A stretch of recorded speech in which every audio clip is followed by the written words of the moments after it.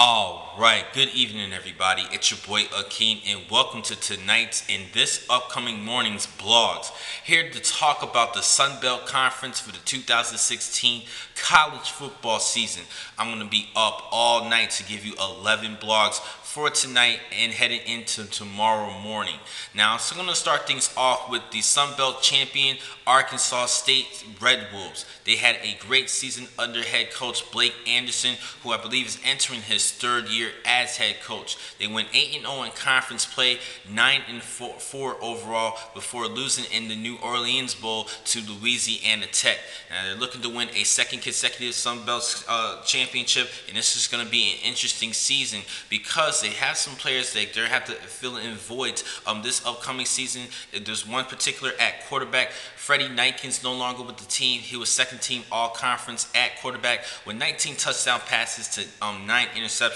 But they did recruit Justin Hartson out of Butler Community College to join the team this upcoming season. Now, there are some other players offensively that they're going to fill in some voids, but I think they're going to be just fine.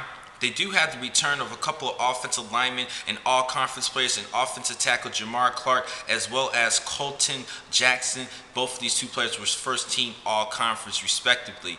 And they also did lose some players in the uh, far their skill players, Tres Houston and JD McKissick, particularly McKissick as return specialist. They're no longer with the team, which means second leading receiver Dijon Paschal and um, newcomer uh, Cameron um, Luper is going to have to step it up. Paschal should be the leading target with um, Cameron Echols Luper, who's actually a familiar name, coming out of TCU. This kid is a speedster, run a 6'8", 960 meter. This kid is very fast. He will be used in special teams and used as wide receiver this upcoming season.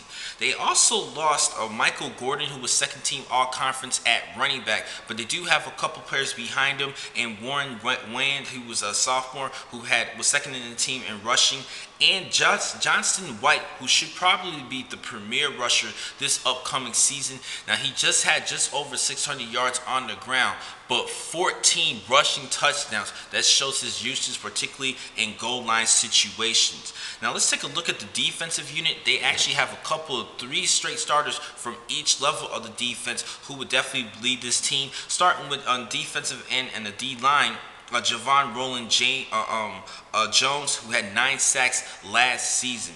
At linebacker is Xavier Woodson Luster. He's definitely going to be controlling the middle. He's a pretty decent linebacker. He was second team all conference last season. And Cody Brown, who was second team all conference in the defensive back position. So that shows they have good leadership in each levels in the defensive. I think defense defense are going to be just fine this upcoming season. We're just going to see what mainly happens with at Hart with um Hansen at the under the helm at quarterback. Now let's take a look at their schedule. On September 3rd, they're going to have to play against Toledo, who beat and spanked on the Red Wolves early on last season. And September 10th is going to be a game at Auburn. I think that game is going to be a loss for them, but this is a definitely good warm-upper. October the 5th, this is going to be the biggest test of the season in conference play. They did not have to deal with them last season, but they will have to deal with them this year. And Georgia Southern, that is going to be a scare. And on November 26th against Louisiana Tech at La Tech, Louisiana Lafayette, I apologize for that. Louisiana Lafayette actually lost 37 to 27 last season, but kept the game pretty close against the Red Wolves, so that was a scare. But this time, uh, Louisiana Lafayette actually has the home field advantages, so that could be an upset alert for the Red Wolves. Now, when looking at their schedule, I definitely see them getting at least nine wins in the season. I think they're going to go nine and three overall, just like how they did last season. I really think they're going to lose to Auburn and they're going to lose to Georgia Southern this upcoming season. So I think they're going to go 10 and 2 at best, but they might lose one more game like the first game of the season against Toledo like they did last year. I think they're going to go 9 and 3, 10 and 2 at best. Now, the next time to catch you guys will be in just a couple of minutes. I have 10 more blogs for today. Thank you for watching this blog. I'm your man, Akin McCall. Be easy.